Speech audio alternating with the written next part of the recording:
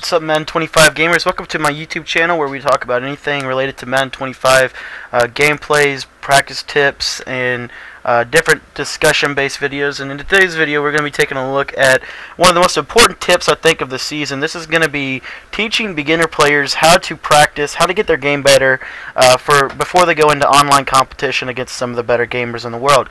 Today's video, we're going to focus primarily on practice mode. What you want to do is you want to hit your, you want to go over to play you want to go down to more modes. You want to hit A or X on PlayStation 3 and you want to hit practice mode and then what you can do is you can practice normal with offense and defense, offense only, or kickoff. You can also use two controllers. This is good for practicing defensive uh, schemes and stuff like that. And another thing I want to talk about is one of the most important things is selecting. You know, you if you want to practice offense, you might want to use you know a team with you know that team that you want to use. So like for this example, Green Bay Packers, they have four receivers. So I'm going to practice my Arizona offense, an offense that primarily uses four receivers. So that's another thing. You can choose different playbooks based on advanced settings. So here I'm going to scroll over to the Arizona Cardinals offensive playbook and that's going to give me that four wide receiver shotgun spread attack. And then I'm going to scroll over. If the Green Bay Packers are a 3-4 base defensive team, then I'm going to use that 3-4 defensive playbook. And now I have two good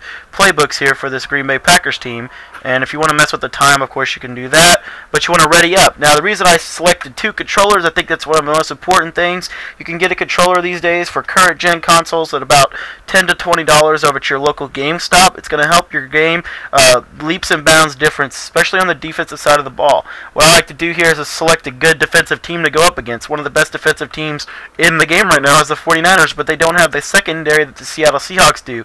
And if I'm trying to pa practice a passing-oriented offense, I want to practice against a pass-oriented defense. So here we're going to use the Seattle defense, a, a defense that's a 4-3 base team. So I'm going to select that 4-3 defensive playbook. And if I want to practice offense with Seattle, I know that they're a read option based team. So I want to make sure that I have you know something that's going to be good with the read option. Uh, you could just select Seattle's default playbook, but I know from um, watching the NFL this season that Chip Kelly is a read option oriented team, so they're probably going to have that read option oriented playbook. So guys, that's how we want to select our settings and practice and practice mode this year, guys. I think this is a very important video, something that can get you going in Madden 25 if you just got the game for Christmas or you just got the current, you know, the current gen version. Um, now this tip will work on next gen as well. It's just all about getting into practice mode and learning the fundamentals of the game. You want to learn how the routes work and how different things uh, go together. Real quick, I want to explain a couple of key features in practice mode that we want to use here. Um, first things first, I want to run real I want to run one play real quick and then I want to explain a couple of things before we get out of here. This is going to be a quicker video just because I really wanted to, to get it out uh, really quick here since I haven't been able to upload uh, as consistently as I would have liked to uh, over the course of this last couple years. So, or, last couple of weeks. So what we want to look at here is we want to hit the start button. We want to go into the instant replay feature. Now this is going to teach us the mechanics of the game. How does the game work? What routes get certain separation?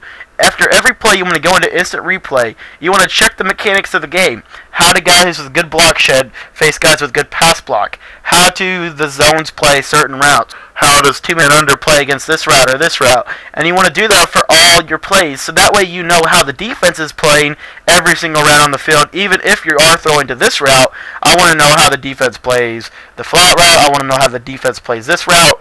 You know, I want to know how this this route plays over here, and you can do that so that you can learn the fundamentals of the game. Another thing you could do in practice mode is you can respot the ball by clicking that feature. You can practice maybe from the 50 yard line. You can practice your, you know, your backed up offense, your your 20 to 20 offense, and then of course you can also practice your red zone offense if you want to. Okay, and then a couple of other features here we can use a practice mode to get our game better. Um, if you want to choose a new play, you can choose a new play right here, or you could just hit the select button. Um, practice type, if you ever want to change it up, go offense only or kickoff, definitely want to use those features because they're going to help you uh, save some time so you don't have to go out of practice when to come back in. Also, if you want to flip sides, you can do that very easy by selecting that option, running one more play, and the next play you'll notice here that I'll have Seattle now will be the offensive team and Green Bay is the defensive team. That's going to be good because now I can practice that read option offense that I once that I wanted to practice earlier. So now you see how we use that feature. And then the only other thing I want to focus on is you go down to game options. You can you can mess around with your settings, your custom audibles. What I like to do when I'm practicing against a specific defense is I'll set you know you know a, a primary pass defense, and I'll set all the generic coverages in the game. So I'll go through and I'll put cover two here. Uh, I'll put cover four in there.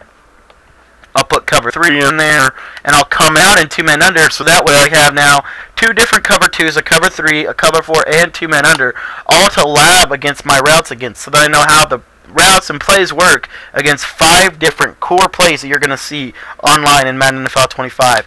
Thank you so much for your time today. If you want to subscribe to the Beginner Tips playlist below, you can do that by hitting the link in the description. Also, be sure to follow me on Twitter for more Madden 25 related content. Thank you so much for your time today, and we'll see you guys later on the week for some more